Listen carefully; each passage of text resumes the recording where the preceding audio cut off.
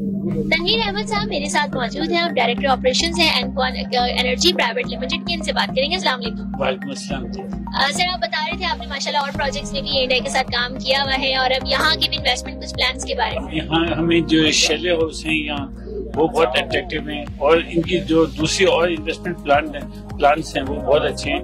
तो हमारी प्लानिंग यही है कि यहाँ भी कुछ इन्वेस्टमेंट करेंगे और हम अपने जो फ्रेंड्स हैं उनको भी हम बता दें कि यहाँ हमारे जितनी जो, हमारे जो सर्कल है कि इतना अच्छा मतलब वेल प्लान इन्वेस्टमेंट प्लान हमें बहुत कम मिलता है देखने के तो इसलिए हम कोशिश कर रहे हैं कि इनके साथ और मतलब मुख्तलिफ़ उसमें पार्टनरशिप में भी काम करें।